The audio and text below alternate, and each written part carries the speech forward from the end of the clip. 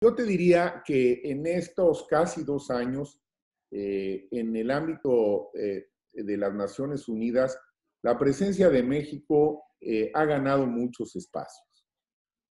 ha ganado muchos espacios porque ese fue el objetivo y el propósito de, desde el inicio de esta gestión gubernamental en el ámbito multilateral de las Naciones Unidas, que es eh, del que puedo yo, este, además, eh, eh, dar más información, porque es el que me toca de manera directa. hemos ido ganando todas las elecciones en las que hemos participado. ¿Y esto qué significa? Jorge, Roberto, significa que estamos presentes en las juntas directivas de muchos organismos, lo mismo eh, eh, ONU Mujeres, que UNICEF, que UNOPS, eh, por mencionar algunas de, las, de las recientes. estamos presentes en las comisiones más importantes que tienen que ver con temas de género, que tienen que ver con temas de drogas, que tienen que ver con temas de refugiados, eh, y a título personal, todas y todos los mexicanos que hemos promovido para una elección también han sido electos.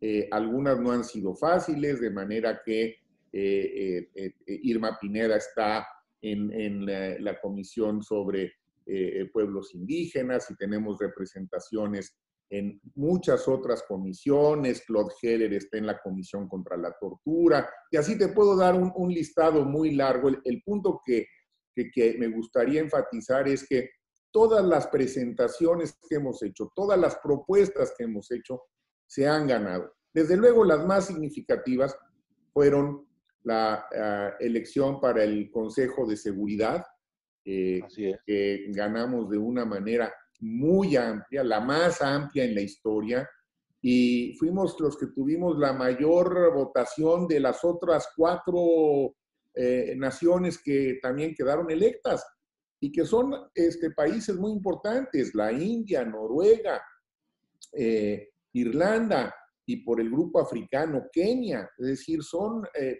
países significativos. Bueno, pues México fue el que más votos obtuvo simultáneamente eh, nos eh, eligieron también para el Consejo Económico y Social y la próxima semana competimos también para estar nuevamente presentes como miembros del Consejo de los Derechos Humanos. De manera que, espero que vamos a ganar también.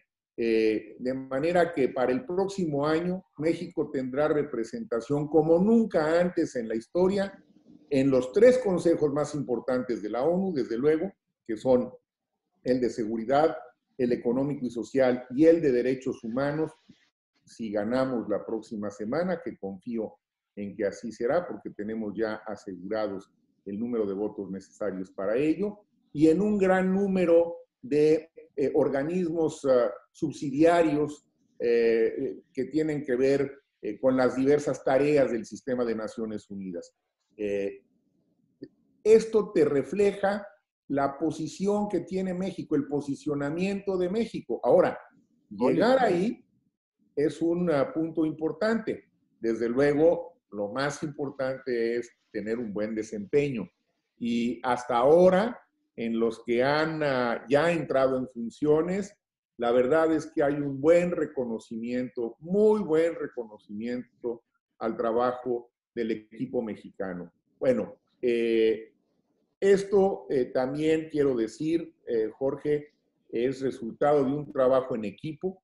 La, delegación eh, de México en la ONU es, es relativamente pequeña comparada con otras en cuanto a número, pero tiene un buen equipo diplomático, un buen número de gente joven que se combina con algunas gentes más experimentadas.